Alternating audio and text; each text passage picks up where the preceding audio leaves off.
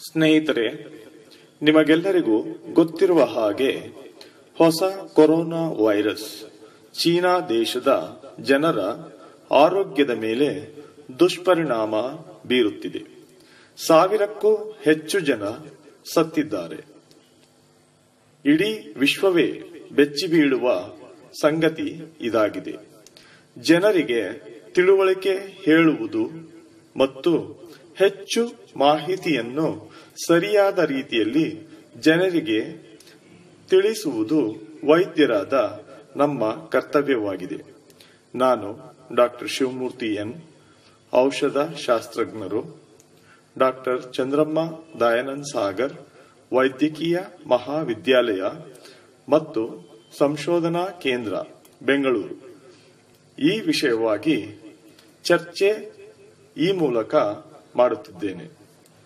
ವಿಶ್ವ ಆರೋಗ್ಯ ಸಂಸ್ಥೆ ಈ ಹೊಸ corona virus two thousand nineteen ಮಾಡುತ್ತಿರುವ ಸೋಂಕುಗಳಿಂದ ಸಾಯುತ್ತಿರುವವರ ಪ್ರಕರಣವನ್ನು ಬಹಳ ಗಂಭೀರವಾಗಿ ಪರಿಗಣಿಸಿ ಇದನ್ನು ಜಾಗತಿಕ ಆರೋಗ್ಯ ತುರ್ತು ಪರಿಸ್ಥಿತಿ ಎಂದು ಘೋಷಿಸಿದ್ದಾರೆ. ಎಲ್ಲ ದೇಶಗಳಿಗೂ ಕಟ್ಟೆಚ್ಚರಿಕೆ ವಹಿಸುವಂತೆ ಸೂಚಿಸಿದ್ದಾರೆ.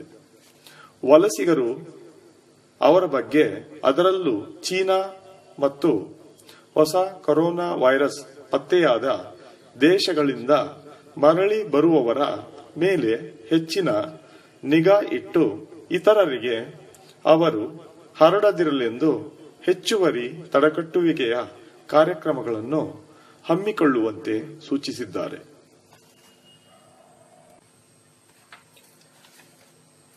ಈ ವಿಡಿಯೋ ಮೂಲಕ ವೈರಸ್ ಅಂದರೇನು? ಎಷ್ಟು ಬಗೆಗಳಿವೆ? ಕೊರೋನಾ ವೈರಸ್ ಅಂದರೇನು? ಇದರ ಹಿಂದಿನ ಚರಿತ್ರೆ ಏನು? ಇದೇ ಮೊದಲ ಬಾರಿಗೆ ಈ ವೈರಸ್ ತೊಂದರೆ ಕೊಡುತ್ತಿದೆಯೇ? ಅಥವಾ ಹಿಂದೆಯೂ ತೊಂದರೆ ಜನ- ಜನಗಳಿಗೆ ಕೊಟ್ಟಿದೆಯೇ? ಹಿಂದೆ ಈ ರೀತಿ ತೊಂದರೆ ಕೊಟ್ಟಿದ್ದರೆ ಈಗ ಹೊಸತೇನು? ಈಗ ಹೊಸದಾಗಿ ಮಾರಣ ಹೋಮ ಮಾಡಲು ಕಾರಣವೇನು? ಹೊಸ ಕೊರೋನಾ ವೈರಸ್ ಸೋಂಕಿನ ಲಕ್ಷಣಗಳೇನು? ಈ ರೋಗ ಪತ್ತೆ ಹಚ್ಚುವುದು ಹೇಗೆ? ಈ ರೋಗಕ್ಕೆ ಚಿಕಿತ್ಸೆ ಇದೆಯೇ? ಒಬ್ಬರಿಂದ ಇನ್ನೊಬ್ಬರಿಗೆ ಹೇಗೆ ಹರಡುತ್ತದೆ? ಸೋಂಕಿನ ಜಾಲ ಹೇಗೆ ಹಿಡಿಯಲಾಗುತ್ತದೆ? ಯಾವ ಎಚ್ಚರಿಕೆಯ ಕ್ರಮಗಳನ್ನು ಪಾಲಿಸಿದರೆ ಈ ಹೊಸ ಕೊರೋನಾ ವೈರಸ್ ಸೋಂಕನ್ನು ದೂರವಿಡಬಹುದು? ರೋಗ ತಡೆಗಟ್ಟಲು ಇರುವ ಕ್ರಮಗಳು.